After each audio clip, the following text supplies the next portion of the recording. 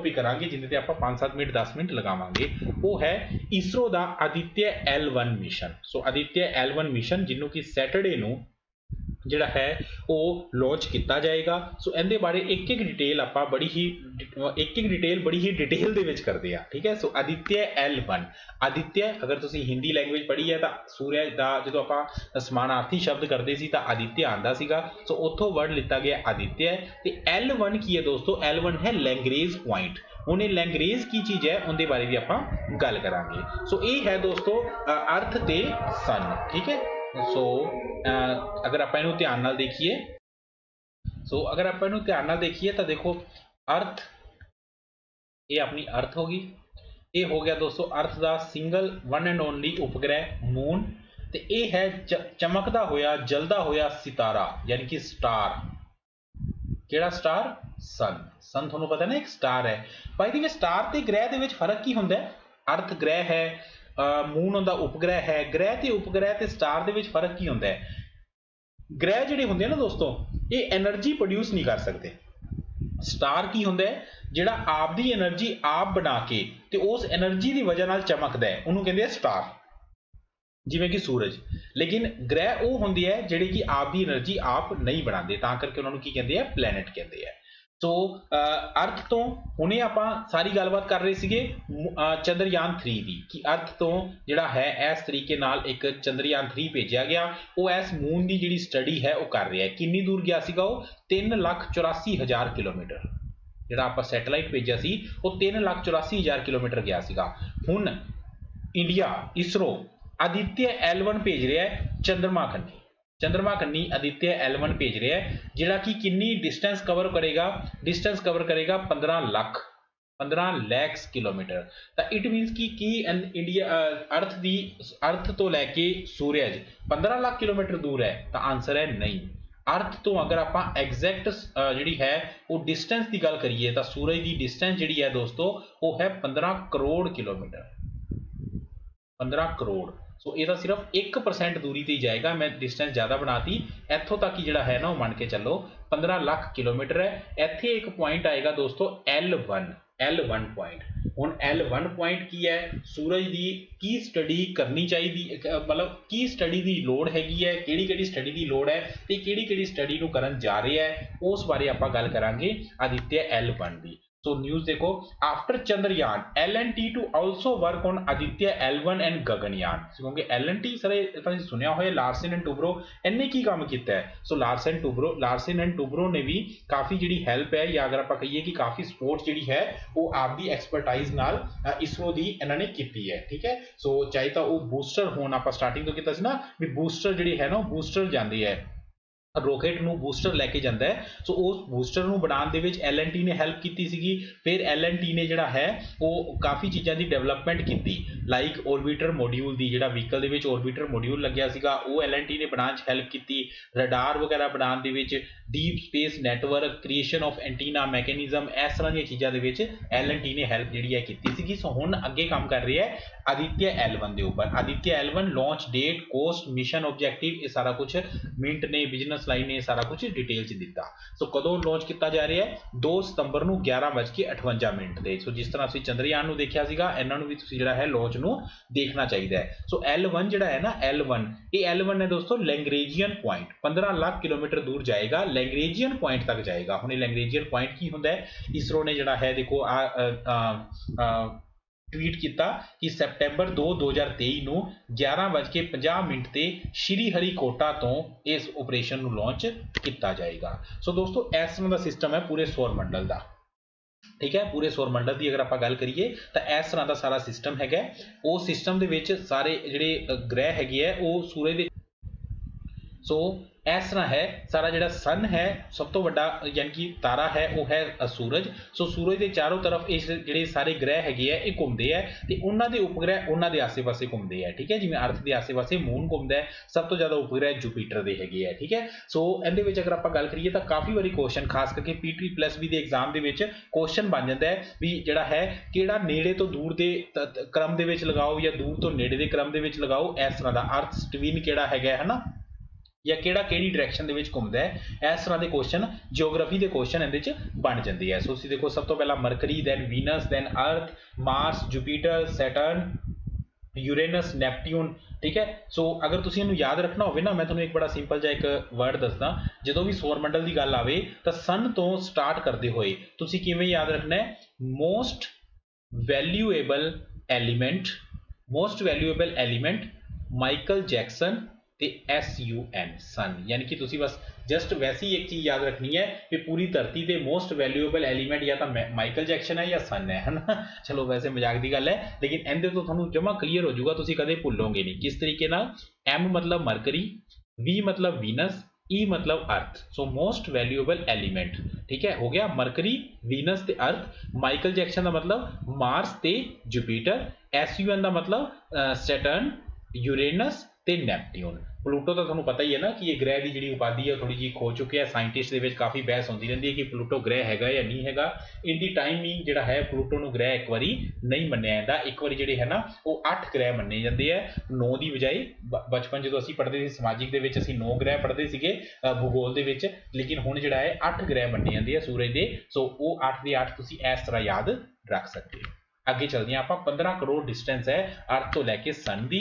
ਸੋ Aditya L1 mission ਜਿਹੜਾ ਲਿੱਤਾ ਜਾ ਰਿਹਾ ਹੈ Aditya L1 mission 1.5 million kilometre ਯਾਨੀ ਕਿ 15 ਲੱਖ ਕਿਲੋਮੀਟਰ ਜਾਏਗਾ ਅਰਥ ਤੋਂ ਜਿਹੜਾ ਕਿ ਚੰਦਰਯਾਨ ਤੋਂ 4 ਗੁਣਾ ਜ਼ਿਆਦਾ ਹੈਗਾ ਚੰਦਰਯਾਨ ਗਿਆ ਸੀ 3,84,000 ਕਿਲੋਮੀਟਰ ਸੋ ਇਹ ਜਾ ਰਿਹਾ ਹੈ 15 ਲੱਖ ਕਿਲੋਮੀਟਰ।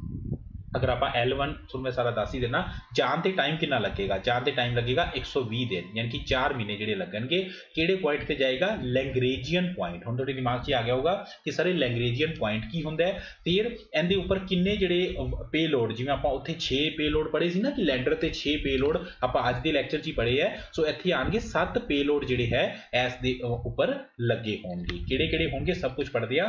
ਥੋੜੀ ਜੀ ਪਹਿਲਾਂ ਸੂਰਜ ਦੀ ਨਾ ਜਿਹੜੀ ਸੰਰਚਨਾ ਹੈਗੀ ਹੈ ਸਨ ਦੀ ਸੰਰਚਨਾ ਹੈਗੀ ਹੈ ਉਹਦੇ ਬਾਰੇ ਦੇਖੋ। ਸਨ ਦੇ ਵਿੱਚ ਜਦੋਂ ਆਪਾਂ ਬਾਹਰੋਂ ਦੇਖਦੇ ਆ ਨਾ, ਜਿਹੜੀ ਤਾਂ ਚੀਜ਼ ਆਪਾਂ ਨੂੰ ਜਲਦੀ ਹੋਈ ਪ੍ਰਤੀਤ ਹੁੰਦੀ ਹੈ, ਜਿਹੜਾ ਆਂਦਾ, ਅਗਰ ਆਪਾਂ ਐ ਕਹੀਏ ਕਿ ਪਰਛਾਈ ਜੀ ਕਹਿ ਸਕਦੇ ਆ ਜਾਂ ਥੋੜੀ ਜੀ ਆਸੇ-ਪਾਸੇ ਜਿਹੜੀ ਫਲੇਮ ਜੀ ਪ੍ਰਤੀਤ ਹੁੰਦੀ ਹੈ, ਉਹਨੂੰ ਕਹਿੰਦੇ ਆ ਦੋਸਤੋ ਕੋਰੋਨਾ ਕਰੋਨਾ ਇਹ ਉਹ ਕੋਵਿਡ-19 ਵਾਲਾ ਕਰੋਨਾ ਨਹੀਂ ਹੈ, ਲੇਕਿਨ ਇਹ ਕਰੋਨਾ ਹੈ ਜਿਹੜਾ ਬਾਹਰੋਂ ਆਪਾਂ ਨੂੰ ਸੂਰਜ ਜਗਦਾ ਹੋਇਆ ਜਿਹੜੀ ਉਹਦੀ ਰੋਸ਼ਨੀ ਜੀ ਦਿਖਦੀ ਹੈ। ਜਿਹੜੀ ਆਪਾਂ ਨੂੰ ਉਹਦੀ ਸਤਹ ਦਿਖਦੀ ਹੈ, ਉਹਨੂੰ ਕਹਿੰਦੇ ਆ ਦੋਸਤੋ ਕ੍ਰੋਮੋਸਫੀਅਰ ਕ੍ਰੋਮੋਸਫੀਅਰ ਠੀਕ ਹੈ?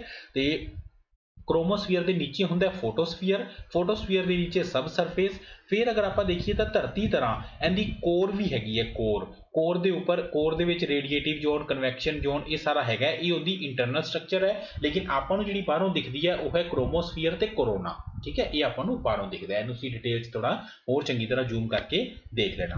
ਫਿਰ ਅਗਰ ਆਪਾਂ ਹੋਰ ਇਹਦੇ ਨਜ਼ਦੀਕ ਜਾਂਦੇ ਆ ਠੀਕ ਹੈ, ਵੈਸੇ ਤੁਸੀਂ ਦੇਖੋ, ਮੈਨੂੰ ਦੇਖਦੀ ਗਰਮੀ ਜੀ ਲੱਗਣ ਲੱਗ ਜਾਂਦੀ ਹੈ। ਜਦੋਂ ਆਪਾਂ ਇਹਨੂੰ ਹੋਰ ਨਜ਼ਦੀਕ ਜਦੋਂ ਆਪਾਂ ਜਾਂਦੇ ਆ ਆ ਬਾਹਰ ਵਾਲਾ ਕਰੋਨਾ ਹੈ, ਜਿਹੜਾ ਮੈਂ ਕਹਿ ਰਿਹਾ ਨਾ ਕਿ ਜਮਾ ਧੂਆਂ ਜਿਹੜਾ ਜਲਦਾ ਹੋਇਆ ਲੱਗਦਾ ਹੈ, ਇਹਨੂੰ ਕਰੋਨਾ ਕਹਿੰਦੇ ਆ। ਲੇਕਿਨ ਜਦੋਂ ਆਪਾਂ ਇਹਨੂੰ ਹੋਰ ਡਿਟੇਲ ਦੇ ਵਿੱਚ ਦੇਖਦੇ ਆ ਨਾ, ਇੱਥੇ ਇੱਕ ਚੀਜ਼ ਦੇਖੋ ਆ ਕੁਛ ਨਾ ਇਸ ਤਰ੍ਹਾਂ ਦੇ ਆ ਕੀ ਚੀਜ਼ਾਂ ਹੈਗੀਆਂ। ਆ ਦੇਖੋ ਆ ਹੋ ਗਿਆ ਆ ਹੋ ਗਿਆ। ਤਾਂ ਇਹਨੂੰ ਕਹਿੰਦੇ ਆ ਦੋਸਤੋ ਸੋਲਰ ਤੂਫਾਨ।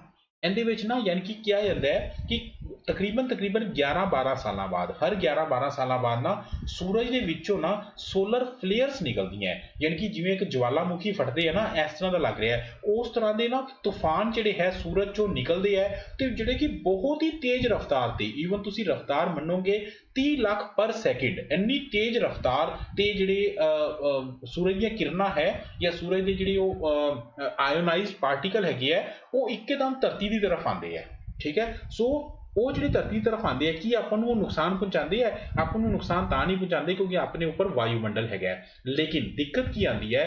ਧਰਤੀ ਦੇ ਉੱਪਰ ਆਸੇ-ਪਾਸੇ ਤੁਸੀਂ ਦੇਖੋ ਵੀ ਆਪਾਂ ਡੇਲੀ ਪੜਦੇ ਆ ਵੀ ਆਹ ਸੈਟੇਲਾਈਟ ਭੇਜਤਾ ਉਹ ਸੈਟੇਲਾਈਟ ਭੇਜਤਾ ਧਰਤੀ ਦੇ ਆਸੇ-ਪਾਸੇ ਸੈਟੇਲਾਈਟ ਹੀ ਸੈਟੇਲਾਈਟ ਕਰ ਰੱਖੀ ਹੈ ਪੂਰੀ ਦੁਨੀਆ ਨੇ। ਜਦੋਂ ਇਸ ਤਰ੍ਹਾਂ ਦੀਆਂ ਸੋਲਰ ਫਲੇਅਰ ਆਂਦੀਆਂ ਨਾ, ਤਾਂ ਉਹ ਉਹਨਾਂ ਸੈਟੇਲਾਈਟ ਦੇ ਉੱਪਰ ਕਾਫੀ ਇਫੈਕਟ ਪਾਉਂਦੀਆਂ। ਸੈਟੇਲਾਈਟ ਆਪਦੀ ਕਕਸ਼ੇ ਚਲਦਾ ਚਲਦਾ, ਆਪਦਾ ਜਿਹੜਾ ਰਸਤਾ ਹੈ ਨਾ, ਉਹ ਭਟਕ ਜਾਂਦਾ ਹੈ। ਇਹਦਾ ਇੱਕ ਐਗਜ਼ਾਮਪਲ 2011 ਦੇ ਵਿੱਚ ਹੋਇਆ ਸੀਗਾ।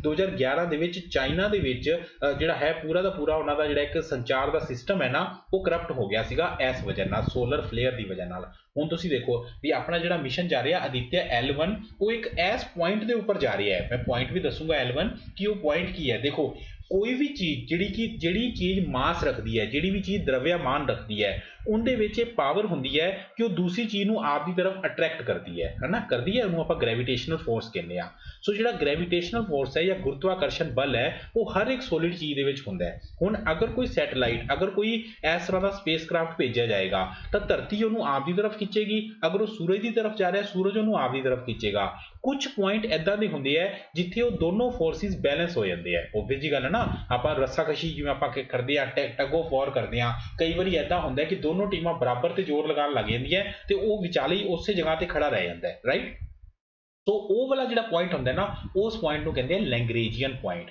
ਤੇ ਧਰਤੀ ਤੇ ਸੂਰਜ ਦੇ ਵਿਚਾਲੇ ਇਸ ਤਰ੍ਹਾਂ ਦੇ ਪੰਜ ਪੁਆਇੰਟ ਹੈਗੇ ਆ L1 ਤੋਂ ਲੈ ਕੇ L5 ਤੱਕ। ਉਹਦੇ ਚੋਂ L1 ਇੱਕ ਐਜਾ ਪੁਆਇੰਟ ਹੈ ਜਿਹਦੀ ਡਿਸਟੈਂਸ ਘੱਟ ਹੈਗੀ ਹੈ। ਉਸ ਪੁਆਇੰਟ ਦਾ ਫਾਇਦਾ ਇਹ ਹੈ ਕਿ ਉਸ ਪੁਆਇੰਟ ਤੇ ਜਦੋਂ ਕੋਈ ਸਪੇਸਕ੍ਰਾਫਟ ਜਾਂ ਉਸ ਪੁਆਇੰਟ ਤੇ ਜਦੋਂ ਕੋਈ ਸੈਟੇਲਾਈਟ ਖੜਾ ਹੋਏਗਾ, ਤਾਂ ਸੂਰਜ ਦੇ ਉੱਪਰ ਕਿੰਨੇ ਵੀ ਸੂਰਿਆ ਗ੍ਰਹਿਣ ਵਗੈਰਾ ਲੱਗਦੇ ਰਹਿਣ, ਉਹਦਾ ਉਹਦੇ ਤੇ ਇਫੈਕਟ ਨਹੀਂ ਹੋਏਗਾ। ਉਹ ਕੰਟੀਨਿਊਸਲੀ ਸੂਰਜ ਦੀ ਸਟੱਡੀ ਉੱਥੋਂ ਉੱਥੋਂ ਖੜ ਕੇ ਕਰ ਸਕਦਾ ਹੈ।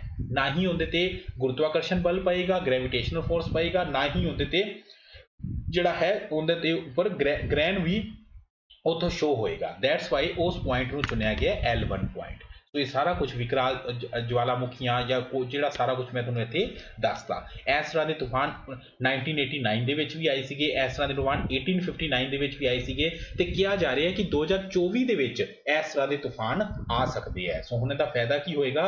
ਅਗਰ ਇੰਡੀਆ ਦਾ ਜਿਹੜਾ ਆਦਿਤਿਆ ਐਲਵਨ ਹੈ ਆਦਿਤਿਆ ਐਲਵਨ ਇਸ ਤਰ੍ਹਾਂ ਦੀ ਸਟੱਡੀ ਕਰੇਗਾ, ਤਾਂ ਉਹ ਇੰਡੀਆ ਦੇ ਯਾਨੀ ਕਿ ਇਸਰੋ ਨੂੰ ਇਸ ਤਰ੍ਹਾਂ ਦਾ ਡਾਟਾ ਭੇਜੇਗਾ ਕਿ ਇਸ ਤਰ੍ਹਾਂ ਦੇ ਜਿਹੜੀਆਂ ਸੋਲਰ ਫਲੇਅਰ ਨਿਕਲ ਰਹੀਆਂ, ਤਾਂ ਹੋ ਸਕਦਾ ਆਪਣੇ ਜਿਹੜੇ ਸੈਟੇਲਾਈਟ ਉਹਦੀ ਆਪਦੀ ਰਸਤੇ ਦੇ ਵਿੱਚ ਆ ਰਹੇ ਹੋਣ ਤਾਂ ਆਪਾਂ ਉਹਨਾਂ ਨੂੰ ਮਾੜਾ ਜਿਹਾ ਸਾਈਡ ਤੇ ਕਰ ਸਕਦੇ ਆ ਮਾੜਾ ਜਿਹਾ ਜਿੰਨਾ ਵੀ ਚਾਹੀਦਾ ਹੋਊਗਾ ਉਹਨਾਂ ਸਾਈਡ ਤੇ ਆਪਾਂ ਕਰ ਸਕਦੇ ਆ ਆ ਹੁੰਦੇ ਦੋਸਤੋ L1 ਤੋਂ ਲੈ ਕੇ L5 ਲੈਂਗਰੇਜੀਅਨ ਪੁਆਇੰਟ ਓਕੇ ਇਹ ਸਾਰੀ ਚੀਜ਼ ਹੈ ਜੀ।